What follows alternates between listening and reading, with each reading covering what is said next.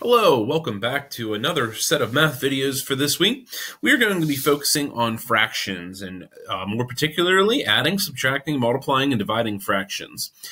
Our first lesson uh, for the week is adding fractions. Today we're going to take a look at some examples with like denominators and unlike denominators. And our first example has like denominators. As you see, both of the denominators are 5. So that makes it pretty simple. That means all we have to do is just simply come down here write our 5 as our denominator. And then we will add our numerators, 3 plus 1, and that is 4. And that is our answer 4 fifths. There is no need to simplify in this scenario because 4 and 5 are beside each other numerically, 4 and then 5. And so that's always a clue that you do not have to simplify that. So that is our final answer. Let's move over to our next example. This one has some mixed numbers, but that doesn't really change anything because when we look at our denominators, we notice that they are the same. So all we simply have to do is add our whole numbers up. And I'm going to make that a little smaller, move that up. So our whole numbers, 3 plus 1 is 4. Our denominator is 8. Now we're going to add our numerators. 1 plus 7 is 8. Now, hopefully, a lot of you noticed that, wait a second, 8 and 8 that is one whole. So we're going to take our 4 as our whole number already, and then have to add the 8 over 8 one whole to get a final answer of 5. 5 is our final answer in this scenario, once again, because the 8 over 8 is one whole. So you will take your 4 and add it to the one whole to get 5. So those are two examples um, that if you would like to copy them down, you can always pause this video, write those down if, if you would like. But we're going to now move, move ahead on to the next examples where we start to see unlike denominators. All right, so the first example here with unlike denominators, once again, we're writing these vertically up and down.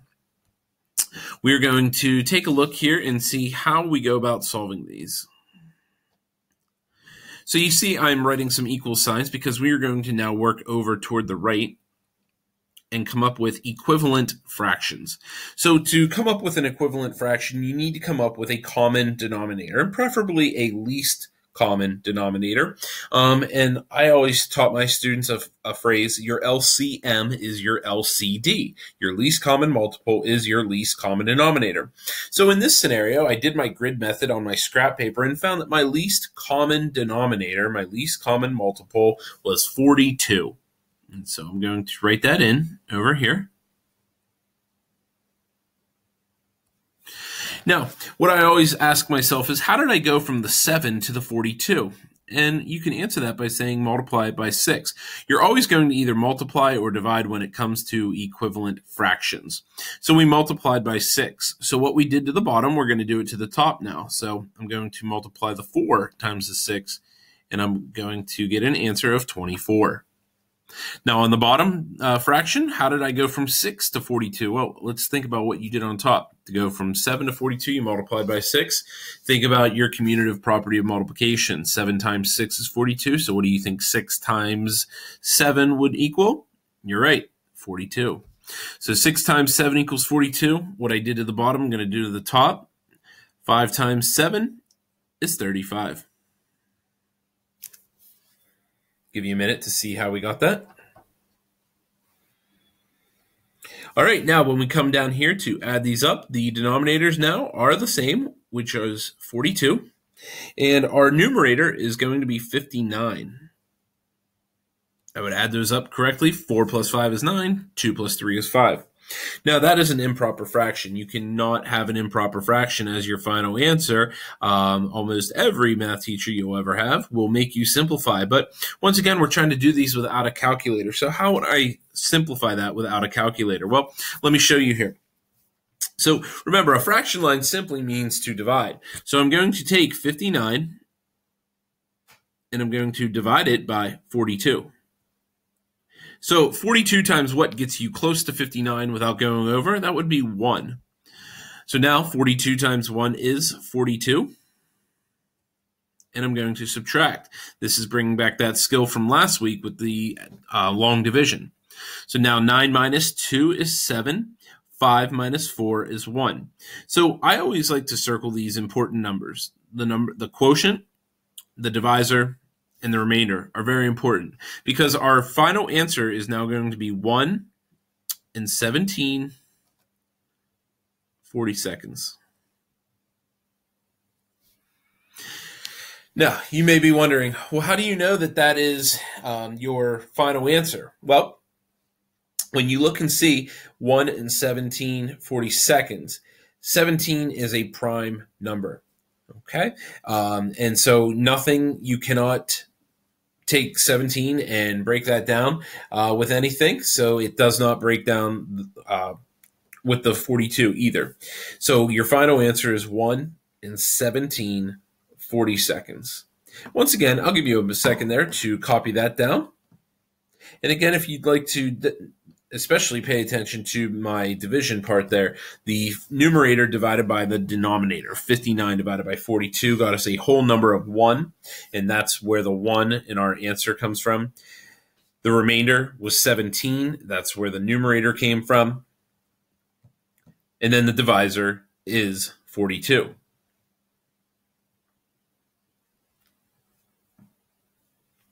All right, so we're going to erase that work in the middle so that we have enough room for the other work with the other problem. And once again, the nice thing about these videos is if you would like to pause it and go back to it, by all means, you are certainly able to do so. So let's move this over now. Now we have one half plus two thirds. Okay. Once again, I like to draw my equal sign and my fraction uh, next to it. So once again, thinking in that mentality that your LCM is your LCD, this, these are pretty low numbers, so you should probably be able to figure out that your least common denominator is 6. So once again, how did I go from 2 to 6? I simply multiplied by 3. What I did to the bottom, I'm going to come up here and do it to the top.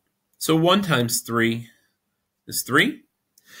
On our bottom fraction, how did I go from 3 to 6? Well, I multiplied it by 2. Once again, think about what you did up on our top fraction. Think about your commutative property of multiplication. So what I did to the bottom, 3 times 2 is 6. That means I do it to the top. 2 times 2 is 4. Now, once again, some of you may already be thinking, wait a second, this is going to be an improper fraction. You're correct, 7 sixths. So think about what we did on the last problem. We're going to take 7 and we're going to divide it by 6. 6 times what gets you close to 7 without going over? That's pretty easy. 1.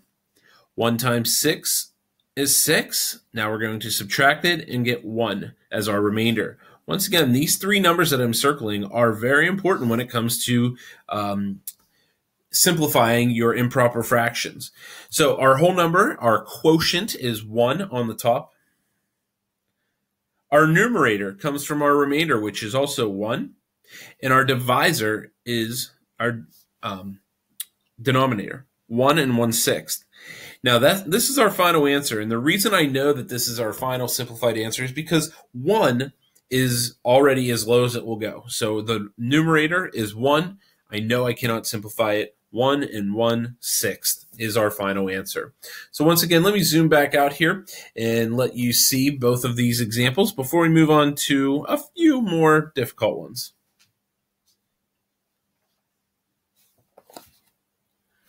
All right, so now as we take a look here, we have two examples with mixed numbers that are unlike denominators. So let me zoom in a little bit here on this first example.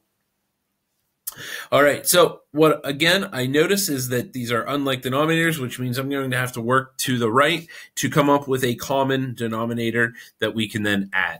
So the whole numbers are going to just simply come over with them. No, this is where we again look at creating a least common denominator. Your LCM is your LCD. So your LCM of four of I'm um, sorry, six and 18 is 18.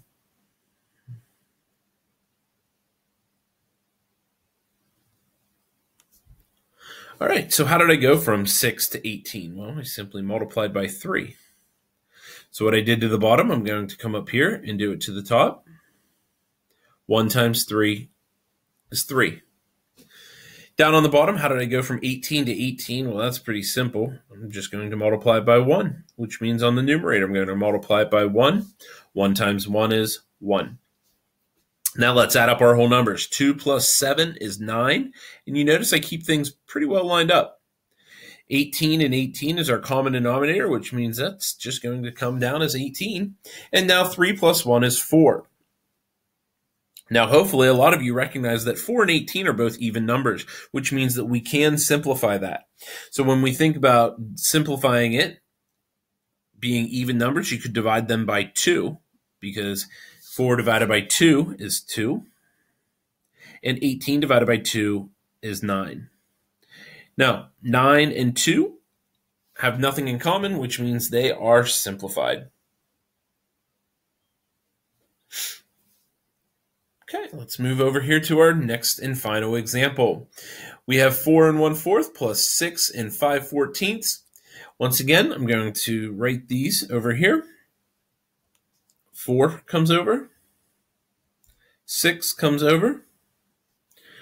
All right, now we have to think hmm, what is the LCM of 4 and 14? 4 and 14, the LCM. Well, if you're doing your grid method on your scrap paper, you know that the LCM of 4 and 14 is 28.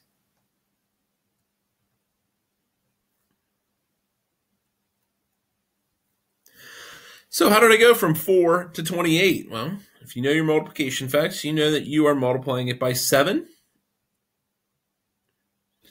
so 1 times 7 is 7. 14 times what gets you 28? 14 times 2. Multiply that on top. 5 times 2 is 10. All right, so add up our whole numbers and you get 10. 6 plus 4. Your denominator is 28.